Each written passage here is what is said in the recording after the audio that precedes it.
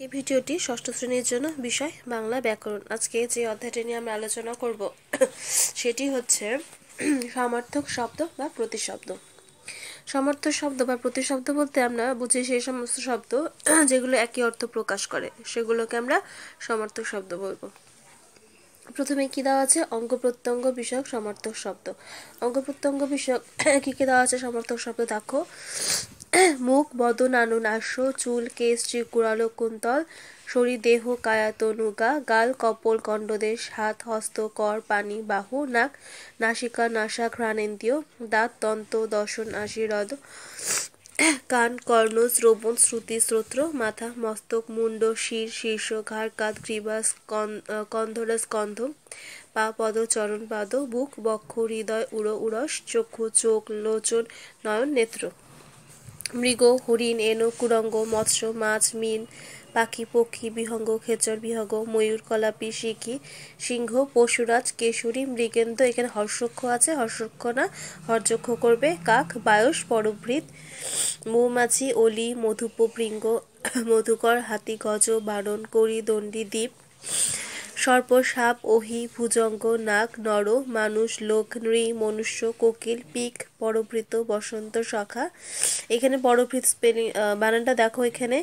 ত, আর এখানে আছে কাকে? খণ্ডক ত। দুটোর মধ্যে কিন্তু পার্থক্য রয়েছে। অশ্ব, ঘোড়া, বাজি, হয়, ঘটক। প্রকৃতি বিষয়ক সমর্থক শব্দের মধ্যে রয়েছে বিদ্যুৎ, বিজলি, চপলা, তড়িৎ ঘনপ্রভা বন, অরণ্য, কান্তার, বিপিন, কানন, জল, সলিল নীর উদক, অম্বু, চন্দ্র, চাঁদ, শশী, শশাঙ্ক, বিধু, সূর্য, তপন, রবি, আদিত্য, দীননাথ, দিবাকর, মেঘ, নীরদ জলদ জলধর পয়দ তীর, তট, কুল, সৈকত, বেলা। এখানে গাছ, বৃক্ষ অটবি বিটবি তরু, পাহাড় পর্বত গিরি নগর ভূধর অগ্নি, আগুন অনল বন্ধু পাবক, পৃথিবী, ধরণী, মহি, ধরা, বসুমতী।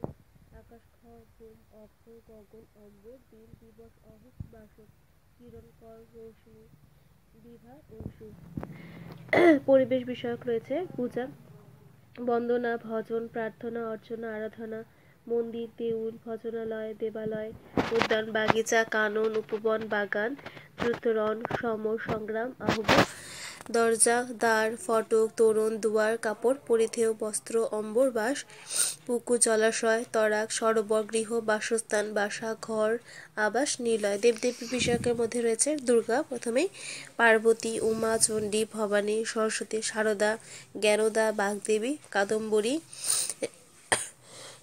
শিব মহাদেব, স্থানু, ভূতনাথ, রুদ্র, কৃষ্ণ, নারায়ণ, গোপাল, মুকুন্দ, গোবিন্দ, গঙ্গা, চান্নবী, সুরধ্বনি, মন্দাকিনী, ভাগীরথী, দেবতা, দেব, অমর, সুর, অসুরারী, লক্ষ্মী, কমলা, নারায়ণী, বিষ্ণুপ্রিয়া, বিষ্ণু, মাধব, নারায়ণ, বিধাতা। পরিজন বিষয়কের মধ্যে রয়েছে প্রথমেই মা, জননী, অম্বা, মাতা, জন্মদাত্রী, বোন, ভগিনী, শশা, সহদরা, কন্যা, তনয়া, কন্যকা, দুহিতা, আত্মজা, স্ত্রী, বধূ, ভার্যা, পত্নী, করণী, দ্বারা বন্ধু, সখা, বান্ধব সুহৃদ মিত্র, অতিথি, আগন্তুক, অভ্যাগত, আমন্ত্রিত চাকর ভৃত্য দাস, সেবক, কিঙ্কর, বাবা, জনক, পিতা, জন্মদাতা, তাত, ভাই, ভ্রাতা, সহদর, অগ্রজ, অনুজ, পুত্র, তনয়, নন্দন আত্মজ সুত স্বামী পতি বর দ্বৈত শিক্ষক, গুরু, আচার্য, অধ্যাপক, শত্রু, অরি, অরাতি, বরি। এখান থেকে তোমাদের প্রতিটি থেকে তিনটে করে পড়লেই হবে। আজকে তাহলে এই পর্যন্তই। ধন্যবাদ।